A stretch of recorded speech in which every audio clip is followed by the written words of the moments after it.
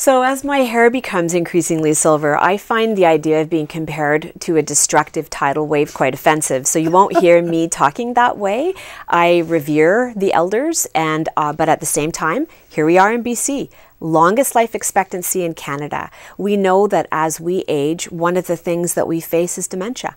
And it is all too common in the older age group. So we know that as our as our as our life expectancy goes up and we get so much better at managing a number of chronic diseases, we're faced with those kinds of things that we don't know yet how to treat or cure.